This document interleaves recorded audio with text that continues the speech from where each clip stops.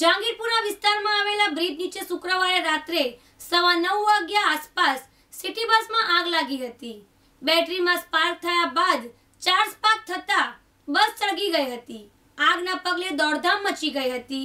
High tension line નીચે આગ લાગી હોવાથી જીઈબીના અધિકારીઓ દોડતા થયા હતા અને પાવર સપ્લાય બંધ કરી દેવામાં આવ્યો હતો.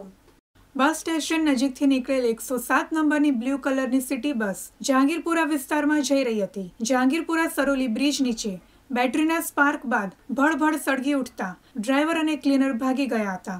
રાહદારીઓએ મોરા ભાગર ફાયર સ્ટેશનમાં. જાણ કરતા ફાયરના જવાનો તાત્કાલિક ઘટના સ્થળે દોડી. વિવેકાનંદ કોલેજ બહાર સળગતી બસ પર પાણીનો મારો ચલાવી આગ કાબૂમાં લીધી હતી. શુક્રવારે રાત્રે નવ ચૌદની ઘટના બાદ સિટી બસના કોન્ટ્રાક્ટરોની લાપરવાહી બહાર આવી છે. બસમાં દિવસ દરમિયાન વાયરિંગ અને બેટરીમાં થયેલા ત્રણ સ્પાર્કને નજરઅંદાજ કરતા ચોથા સ્પાર્કે આખી બસ સળગીને ભડથું થઈ ગઈ હતી. ફાયર ઓફિસ સૂર્યવંશીએ હાઈ ટેન્શન લાયર નીચે સળગતી બસની ગંભીરતા નોંધી લઈ તાત્કાલિક જીઈબીનો સંપર્ક કરી વીજ સપ્લાય બંધ કરાવ્યા બાદ આગ પર પાણીનો મારો કર્યો હતો.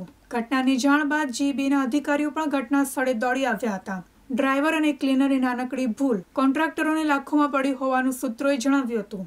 અનેક બસોમાં વાયરિંગ ખરાબ હોવા છતાં હજુ પણ ધ્યાન અપાતું નથી. સાબિર શહેર સાથે અશ્મિતા પટેલ દિવ્યાંગ ન્યૂઝ સુરત.